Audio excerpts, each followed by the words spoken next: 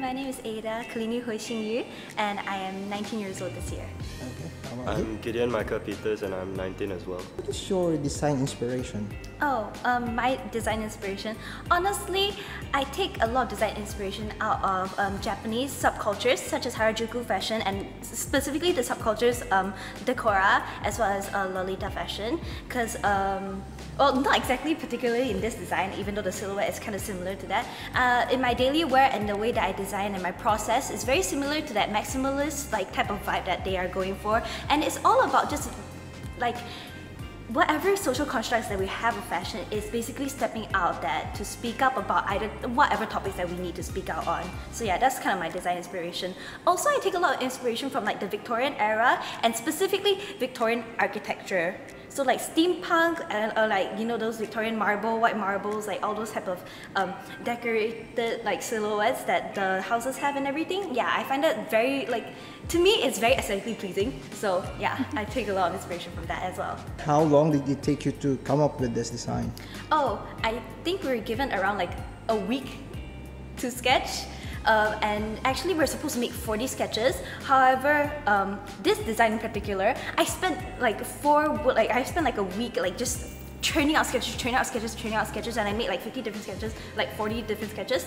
And actually this design was not part of it. So during this time, I really felt like I was in a slump. And you know, as all design, as all designers feel like, like you're stuck in a place. And I was just like, one day I was just like, you know what? No, scrap everything that I made before. Let's just completely take it to another level. And this design took me literally 10 minutes, and it's the one that I, it's the one that I chose in the end. How do you feel being selected as a model for this?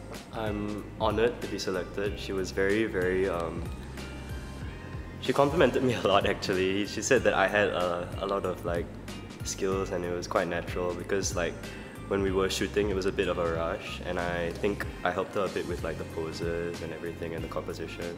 And so I was yeah, I mean the entire process she kept me involved, we communicated and so it just helped me feel like you know, it helped me feel special. How do you feel about the, the design itself?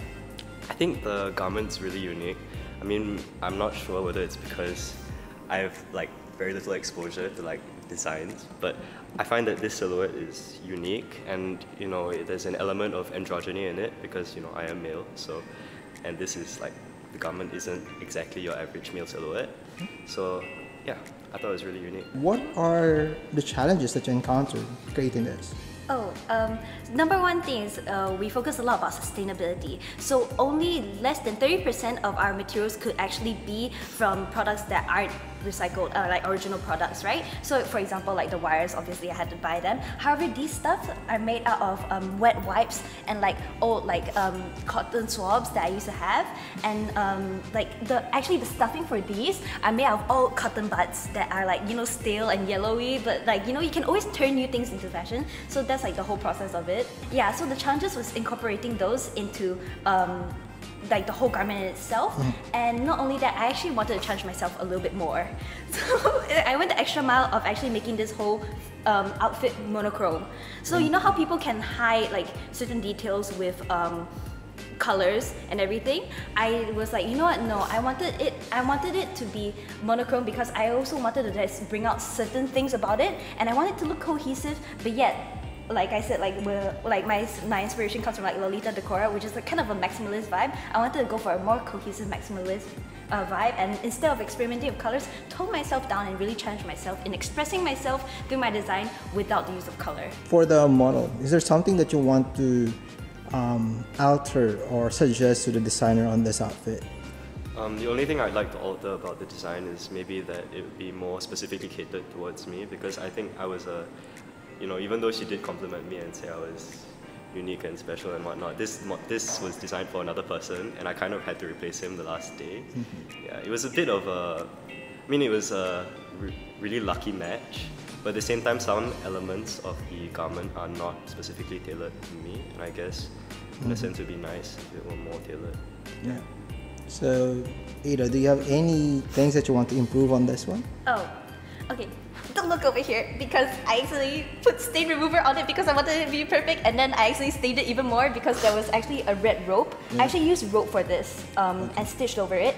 Uh, but yeah, ignore the stain. But um, one really big challenge is that uh, the wire that you see that gives this silhouette, like um, I did a, I did a, I did basically a hem around it so I can sort the wire through, right? However, the wire does not connect properly if it's not soldered together. And I don't have a soldering machine so it's a little bit hard for the wire to stay like this. And so that is constant we have to constantly like move it around just so that it like properly works.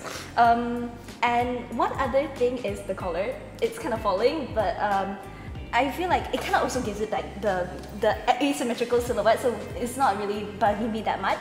Not only that, um, these eyelets are actually super glued onto the super glued onto the garment because um, my eyelet um, machine actually broke. So it was so I was stressing out, but luckily I had like a bottle of super glue and a dream, and I made it work. Okay, cool, cool.